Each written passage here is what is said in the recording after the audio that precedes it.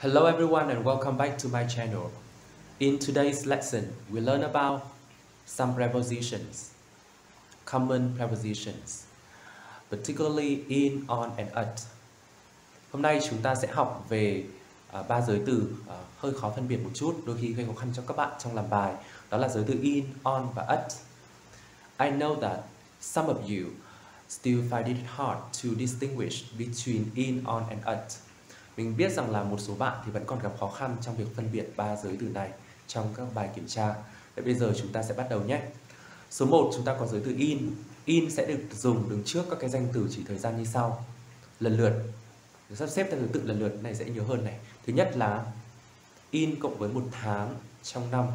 In cộng với mùa, in cộng với năm, in cộng với thập kỷ, in cộng với thế kỷ và một số buổi đặc biệt trong ngày, ví dụ như buổi sáng, buổi chiều và buổi tối. Được chưa nào? Bây giờ chúng ta sẽ ví dụ nhé. In cộng với tháng, ví dụ in May, in April, in October, in December. Đúng không nào? Các cái tháng trong năm. Thứ hai, in cộng với mùa, chúng ta có bốn mùa trong năm đúng nào? Thì chúng ta sẽ có là in spring, in summer, in autumn, in winter. In cộng với một năm rất là dễ. Ví dụ như là in 1994, in 2010, in 2022 đúng không nào? In cộng với một à, thập kỷ chúng ta sẽ có là in the 1990s những năm 1990 nhớ là phải có the trước cái cái hình thức này nhá. Rồi in cộng với thế kỷ chúng ta cũng sẽ dùng mạng từ the đi kèm với in. Ví dụ in the 21st century thế kỷ 21, in the 17th century thế kỷ 17 vân vân. Với các cái buổi của ngày chúng ta sẽ có là in the morning, in the afternoon, in the evening. Bây giờ chúng ta sẽ đến với cái giới từ in, à với giới từ giới từ on. Giới từ on thì chúng ta sẽ sử dụng trước các cái danh từ chỉ thời gian như sau. On sẽ cộng với các cái ngày, các cái thứ trong một tuần.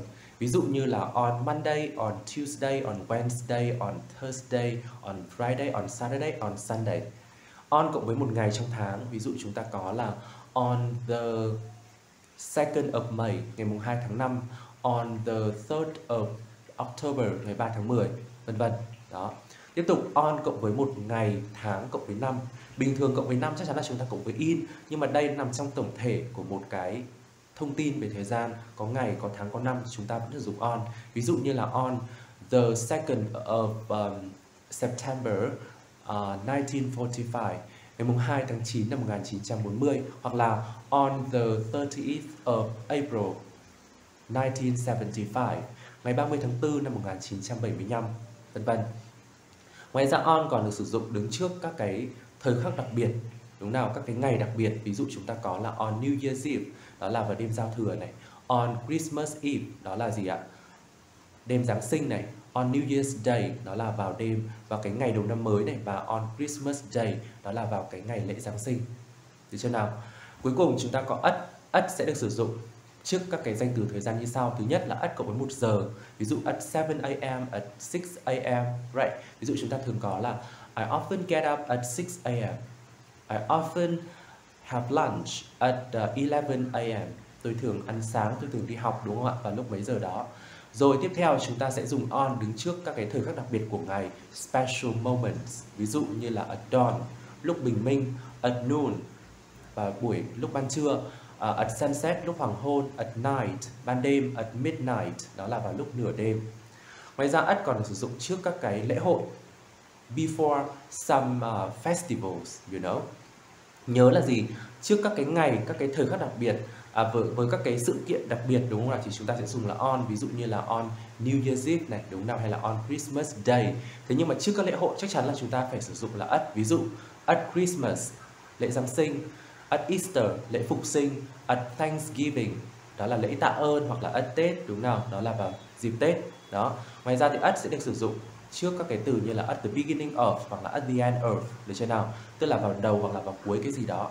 Thì ở đây chúng ta lưu ý nhé với at the end thì chúng ta dùng of cộng với danh từ ví dụ at the end of the meeting và vào đợi vào cuối cái buổi họp chẳng hạn nhưng mà in the end và đúng nào in the end thì chúng ta lại phải hiểu là nó không cộng với danh từ nữa nó đứng độc lập và nó mang nghĩa là cuối cùng finally được chưa nào như vậy chúng ta đã hoàn thành xong cái phần mà liên quan tới phân biệt được in on at. Bây giờ chúng ta sẽ bắt đầu vào một số câu. Chúng ta sẽ có 10 câu. À, ví dụ câu số 1 We often go skiing a blank spring because the days are longer. Chúng tôi thường đi đúng nào? À, trượt tuyết vào mùa xuân như vậy đứng trước một mùa chúng ta phải dùng với in. We often go skiing in spring because the days are longer. Câu số 2. Our whole family enjoyed a great meal. A fine little restaurant.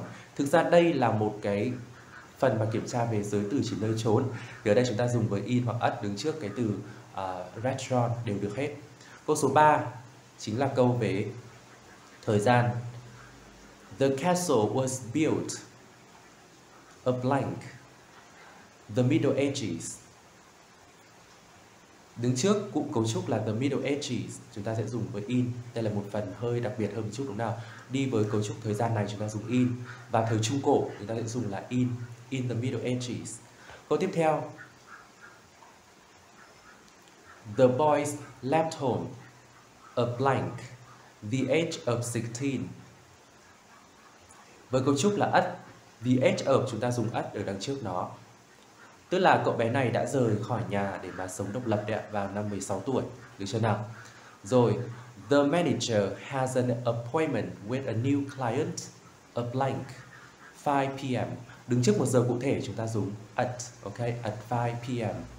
She sleeps in the morning and works at night, ok?